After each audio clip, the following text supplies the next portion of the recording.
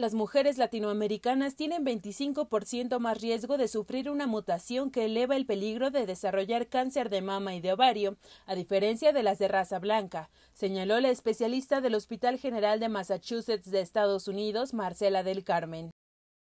Explicó que con el apoyo de algunas instituciones médicas mexicanas se realizó un estudio para analizar el riesgo de la mutación del gen supresor de tumores humano, que regula el ciclo celular y evita la proliferación incontrolada en mujeres latinas de Estados Unidos y México.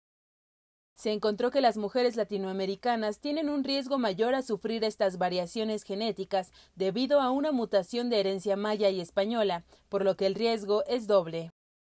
En el caso de cáncer de mama, detalló, si una mujer tiene la mutación del gen supresor de tumores, el riesgo con la mutación es del 48%. Sin embargo, no es el fin, pues si se detectan a tiempo, existen diversas medidas de prevención.